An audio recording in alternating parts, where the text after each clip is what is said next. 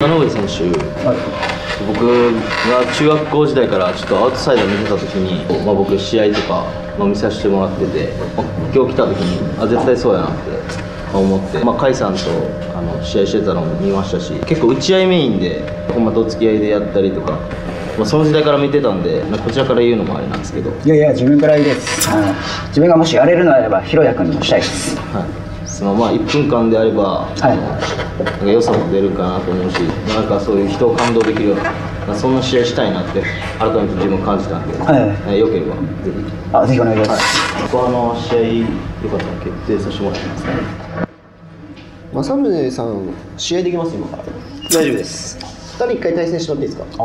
でアウトサイダーで結構バチバチな戦いする2人なんで勝った方がヒロヤ君とやるのはどうですか？あ大丈夫です。じゃあ、準備お願いします。ありがとうございます。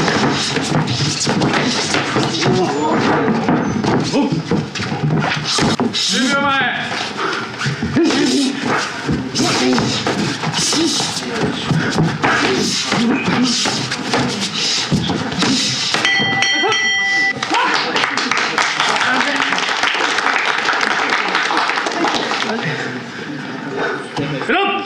じゃあヒロヤ君